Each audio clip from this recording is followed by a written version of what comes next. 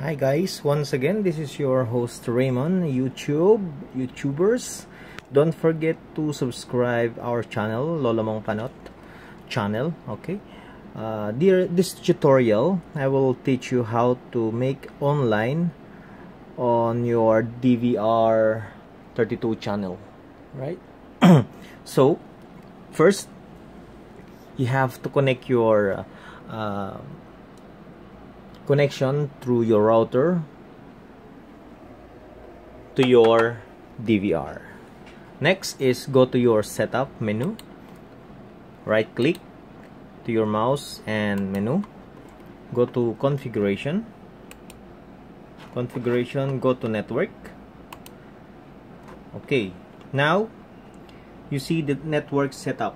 Okay, the IP address, subnet, and default gateway you should run and enable this DHCP so it will be automatic assigning uh, for the IP address.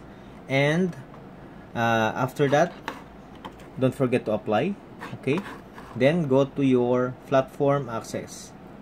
Platform access click it and you will see your uh, DVR should be online okay? Like that. So for you to able view your cameras to your application. And for the application you can download uh, into your iOS or Android. It is uh, Hik-Connect and uh, create your account there and make scan for your barcode. Alright if you have any questions further comments or any reaction just uh, put your comment below this video and don't forget to subscribe. Thank you very much for your kind and cooperation and for watching my videos.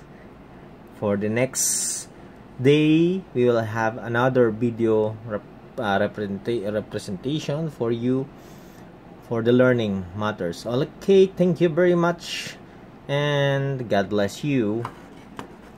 Bye